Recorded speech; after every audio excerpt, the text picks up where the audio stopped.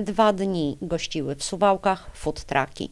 Przed plazą, gdzie stanęły przez sobotę i niedzielę, przewinęło się sporo gości. Oferta szeroka, od belgijskich frytek po tybetańskie pierożki. Spory wachlarz zapiekanek, hamburgerów, naleśników, dań kuchni meksykańskiej, chińszczyzny, potraw indyjskich, francuskich naleśników. Wybór, trzeba przyznać, był szeroki, ale zakupy ostrożne. Pewnie degustatorów byłoby znacznie więcej, gdyby ceny oferowanych potraw były nieco przystępniejsze. Poza frytkami nie sposób było znaleźć w ofercie danie za mniej niż 20 zł. Niby niewiele, ale gdy przyjdzie się całą rodziną, to wydatek jest już pokaźny, mówili odwiedzający. Wielkość porcji taka, że trudno się najeść, da się zaledwie spróbować, więc określenie restauracja na kółkach to dużo powiedziane. Warto przyjść, by spróbować, jak smakuje inna kuchnia niż nasza, polska, schabowo-bigosowa, mówili inni. To inspirujące, bo przecież potem w domu można spróbować odtworzyć ten smak. Pomysł na kulinarny karawaning przyszedł do nas z zachodu. Food trucki początkowo kojarzyły się Polakom z budkami serwującymi prosty fast food z mrożonki. Objazdowy festiwal smaków odwiedził Suwałki po raz trzeci.